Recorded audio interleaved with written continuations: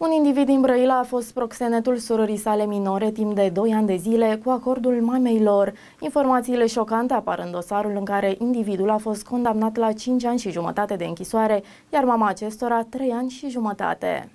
Cu ajutorul mamei sale, timp de 2 ani de zile, individul în vârstă de 20 de ani a fost proxenetul propriei surori, care avea doar 14 ani, atunci când a fost îndemnată să întrețină relații sexuale contra cost. Chiar fratele era cel care o transporta la clienții după ce îi găsea, o supraveghea și mai mult decât atât, îi lua toți banii câștigați, arată publicația de Brăila. În instanță, cei doi și-au recunoscut faptele, deși inițial în fața procurorilor DICOT au negat categoric. Potrivit procurorilor, individul a început să-și exploateze sexual sora începând din martie 2018, când aceasta avea doar 14 ani. Până în februarie 2020, individul în mod repetat i-a căutat clienți pentru întreținerea de relații sexuale contra cost. A transportat-o la locurile unde se întâlnea cu clienții, a supravegheat-o în permanență și și-a însușit sumele de bani astfel obținute. În același timp, alte două minore de 14 și 16 ani au fost recrutate de individ individ pentru a se prostitua împreună cu sora sa atât la stradă,